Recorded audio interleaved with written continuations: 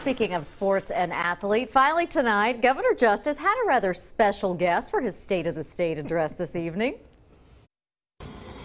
Big Jim and Cathy are incredible friends of mine.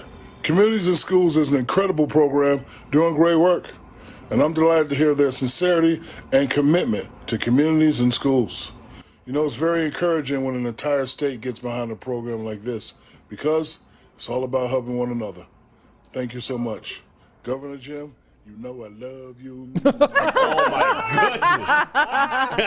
I can't unsee that. I can't. Oh The man. best part was he introduced him as his as his small friend. Yeah, he did. right. Yeah, yeah, so the message obviously featured Yep. Shaquille O'Neal. They're played in front of Congress during the governor's speech for an important cause. My man Shaq, fellow LSU alum, all right? He says That's that what the he said all the night. Communities In Schools program, all about helping one another. He also ended his message by, of course, you just saw, sharing his love uh, for the governor and his wife, blowing them several kisses, which received a huge reaction, by the way, from lawmakers. in and attendance. all the rest of us watching too, by the way. Loved it, man.